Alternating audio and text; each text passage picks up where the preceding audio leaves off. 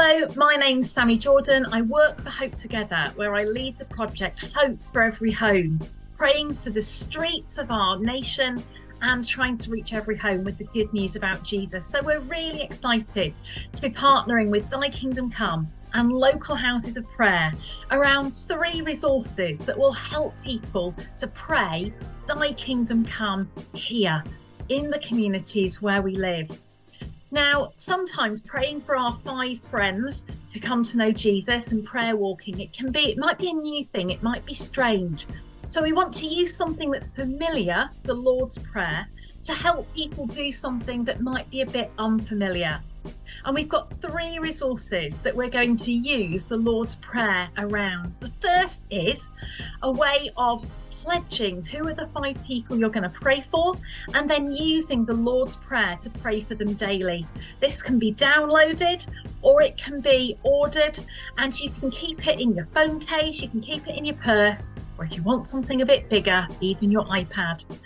The second resource uses the Lord's Prayer again, but this time to help us pray for our communities. How do we prayer walk our communities? How can we pray for our communities, especially if we don't know them very well? We're going to let the Lord's Prayer help us, and it will take you through the Lord's Prayer as a way of praying for your community.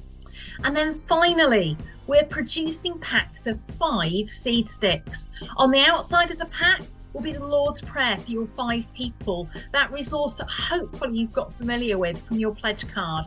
Inside, your five sticks, you write the names of your people on the sticks and you plant them. Because when we pray for our people, it's like we're sowing a seed.